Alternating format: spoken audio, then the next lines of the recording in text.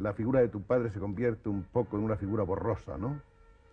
Bueno, estás utilizando un, un generoso y amable eufemismo porque no es una figura borrosa, es una figura que desaparece totalmente. Desaparece.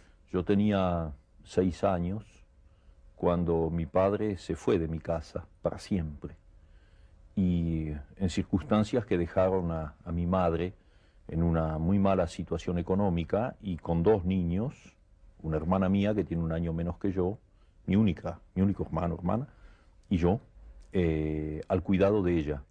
Eh, mi madre era una mujer totalmente indefensa porque aunque tenía una excelente cultura, vivía en un mundo, en el mundo argentino de los años 20, es decir, un mundo machista a 100%, donde una mujer tenía que quedarse en su casa y si pretendía ejercer algún trabajo, alguna profesión liberal, mi madre podía haber sido una excelente traductora, por ejemplo, puesto que sabía inglés y alemán, además del francés y naturalmente el español.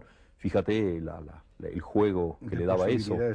No, no, pero era absolutamente impensable. En ese momento era impensable. Y entonces eh, mi madre tuvo que aceptar pequeños empleos en la administración nacional, porque eso sí era honorable, ¿sabes? Sí, sí, empleado público sí, lo otro no.